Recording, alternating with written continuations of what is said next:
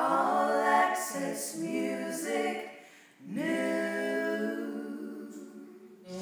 land in the north, the Scarlet Council talks of war. And the long knives have massacred a tribe at Burcombe, and we're not welcome in our homes anymore. Hi, I'm Barry Sigman, and we're here um, backstage with um, Tom Ketchum. Uh, he is a member of the Grand Ole Opry and um, has had countless amount of hits. And um, we are lucky enough to get to spend a few minutes with him tonight. How you doing, Howard? Barry, how are you? I'm It's a great. real pleasure. So, um, tonight you're um, kind of like starting. Well, not tonight you're starting, but you're you you're coming back. I mean, you took a hiatus. I did, yeah. I took about two years off because I couldn't play and uh, couldn't sing, and uh, I kind of stopped writing songs.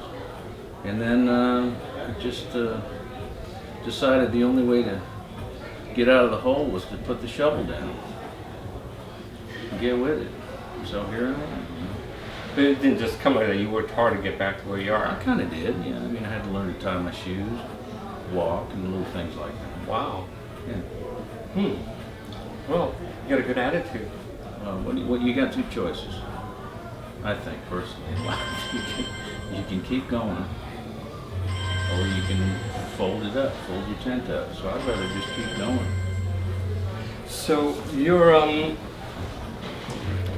you're writing again. I am. I just. I'm actually. Uh, I just signed a, a record deal with uh, Music Road Records in Austin, Texas, and I've written nine songs and uh, went in the other day and recorded four more. And what Kenny Grimes and I do guitar vocal of everything, and then we find the songs we like and get with it. So I'm about a month out right now from going in with a full band and cutting a new record.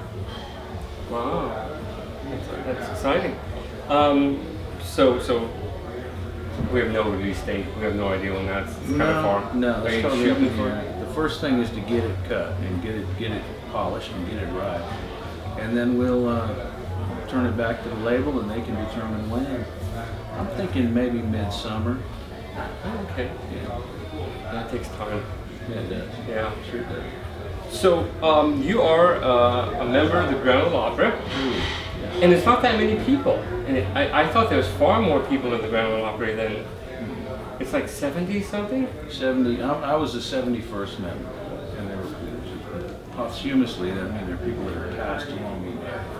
But I, I actually uh, celebrated my 20th anniversary as a member of the Opry last weekend. I flew to Nashville, and uh, Valentine's Day.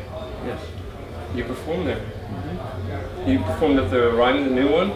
no, no, we went to the Opry House, not the Ryman. But uh, a wonderful experience. Um, it's my family. I don't know how to describe it, but uh, it's the one place I can go where I see legends walking the hallways.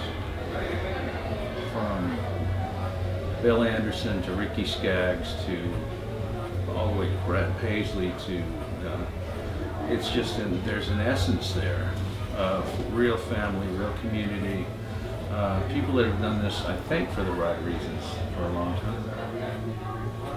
That place has a lot of history. I remember I, uh, I was there one time and I was told that um, Hank Williams Jr.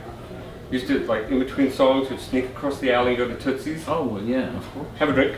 Oh yeah, oh, by all means. It's easy to do. oh yeah, it's really close. It's, I've counted it. It's 27 steps. Is really 27 steps. Wow. Um, uh, so, on a, um, on a on a sad note, um, we were we were lucky enough to uh, get a chance to spend some time with Ray Price. We were actually at his 87th birthday, and actually Gina got to cut the cake.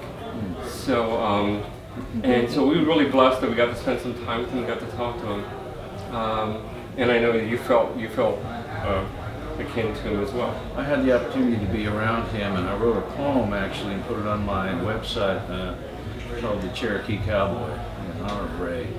uh, he was a cat. I mean, you know, th- these are guys that, that did this work. Now, we live in a fairly cushy world. We, we can get on the phone, on the cell phone. We can. Uh, these guys were on, if they were lucky, they were on buses. For a long time, they were not. They were, they were traveling interstates before there was an interstate. They were traveling back roads, any road to get to a gig, and driving all the way back to get home. Uh, at life, the cost of life and limb sometimes. Yeah. Tough warriors. They were just all warriors. And, and when you left and head on the road, you really were separated. Like now with the computers and with cell phones and Skype, you, you're connected. I mean, you can stay connected pretty much. If you were lucky, you had a, uh, you could find a payphone every 400 miles. Yeah, different world. These guys were tough as leather.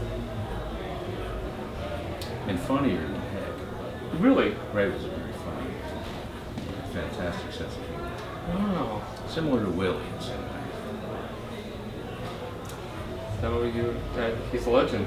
You know, um, he's a legend, and we had a, we got a blip on his radar, but we were feel really honored that we were able to have that at least. You know, Yeah. because there are certain people that stand out, and he's definitely one of them. Absolutely true. Um, so, as as a personal, uh, I'm you know, I'm personally a very big fan of yours, and um, one of the things I love about your music is that your songs are almost like stories put to music.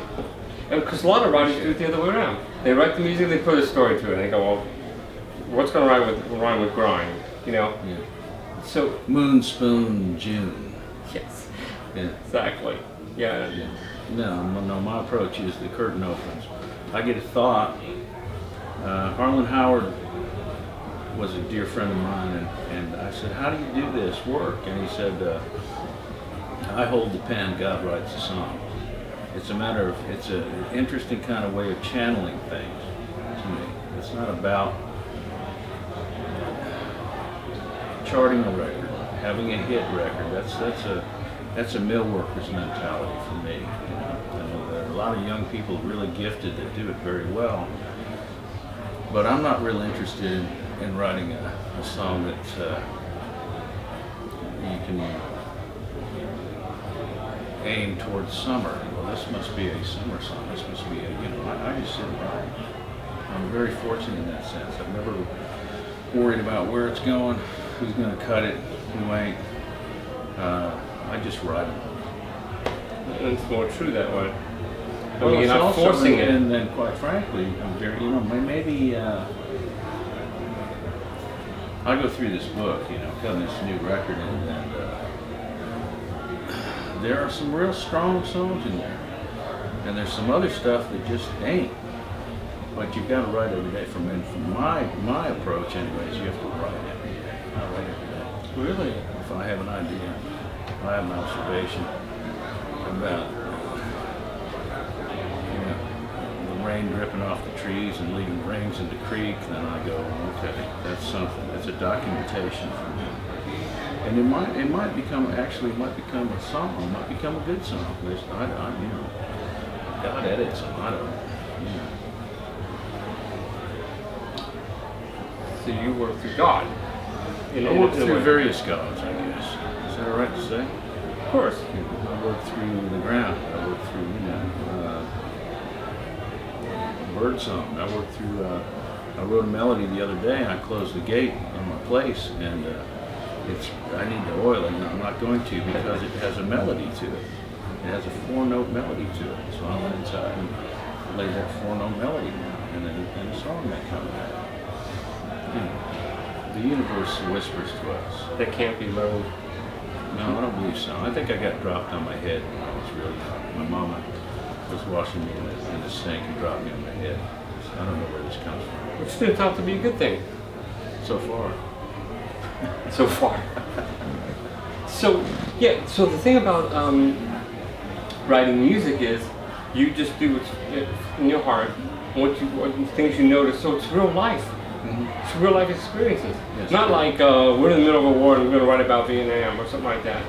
I guess that is real life, but I mean, things that happen to you and you experience. You know, Well, if I've been there, I'll write about it. All right. And, uh, I'm old enough. I'm 60 years old, and I've seen a lot, uh, I can recall things. I can recall tender moments with other people. I can recall harsh moments with other people, and, and they'll lead me to a song invariably. I'm, I don't push it. You know, I've, I've written myself of several good songs because I thought, well, this would be good for George Jones, or this would be good for Garth Brooks, this would be good for song. I mean, I don't do that because you get halfway into a song, and you can you can you can literally watch the song disappear if you don't watch it. So, so I try to finish the work. I try to sing the work well. That's about all we get. Wow. Well, you are quite a talent. You uh, you have one of the purest voices, uh, you know, in recording history as far as I'm concerned. Thank you. And many other people feel the same way. Um, and um, to be able to express yourself, it's it's uh, it's a lot. A lot of people wish they could do that. you know, Well, and make a living doing what you love. yeah. Well, I think everybody should get the opportunity to do that. And Just do something you really love. I don't care what it is. Just do it. Come home happy. Never argue with someone before you go to bed. Take it easy. Easy, easy's good. Those are good words. Sounds like a song. Could be. oh no. Oh, great. Give us a minute. Hold on a second. Thank you. well, Hal, thank you very much for your time. We really Thank appreciate you, my it. friend. God bless you. Thank you. Thank you. Thank you. Well, Alexis. Good night. Adios. Love don't hang out in a